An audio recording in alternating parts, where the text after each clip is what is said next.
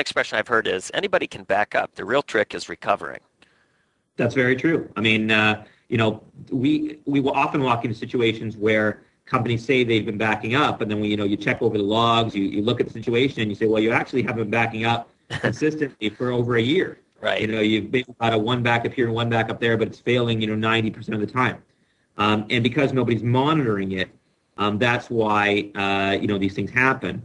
So service offerings like ours obviously not only just offer the technology, but come with the service associated with the monitoring and making sure that the recoveries are possible.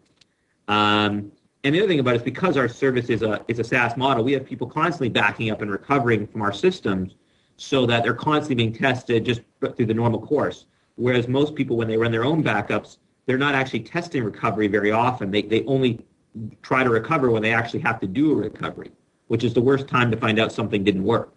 Yep. When you say that it's one of the worst times to find out that it doesn't work, I've had that happen just, you know, in terms of my own desktop setups. That's why I have no less than four different backup systems in place at all times now. And if that sounds paranoid, well, yeah, I've lost too much data that way.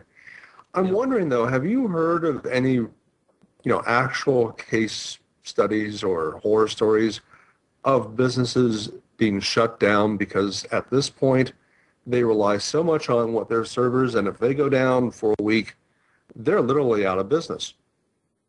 Yeah, no, there there are a number of instances of people having uh, having issues. I, I can't think off the top of my head of one particular example, but the um, but there are a number of cases where businesses have businesses have had issues where you know, their systems have gone down and they and they lose customers.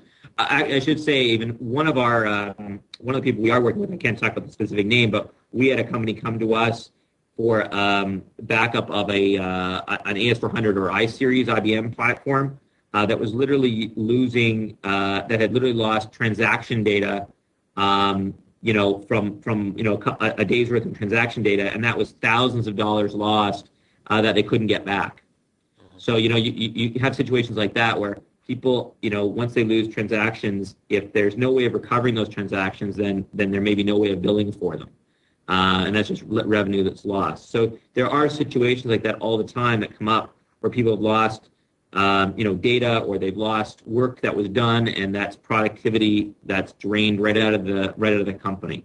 And those are just simple examples as opposed to even full-scale disaster situations where, where servers go down and the whole business is off is not running anymore. Let me just walk through a kind of a scenario here just to get my head around this a little bit better. Um, for instance, I run a startup off of virtual private server, uh, happens to be based in a couple different places. They're very reliable, but you know, things happen like backhoes. What would happen in, you know, walk me through the steps here if at, uh, you know, 8 a.m. a backhoe ripped out my V my VPS's connection to the outside world. What what would it, your service do at that point? Well, depending on which service you're, you're referring to of ours, um, there would be a few different options. Um, if we're talking about the high availability service as an example, then really the networks would just fail over to the alternate server location, um, and you know within you know minutes the um, the traffic would be rerouted to an alternate server. How, Um, current, how current at that point is the data backup though?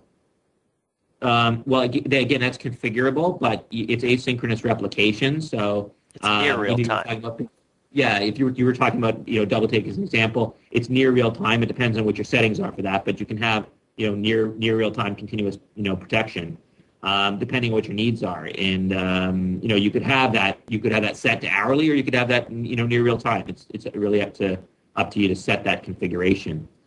In the case of a of a backup, uh, you would be looking. We have other services where, for example, um, you know, not for a web server, but, but for a file server, we have some technology built into our our backup services where we have what's called um, virtual recovery, where in the process of while you're actually recovering that data to an alternate location, you can access our on-site appliance technology, on-site appliance server uh, in the background and actually have people not even realize they're accessing a backup server instead of the primary server.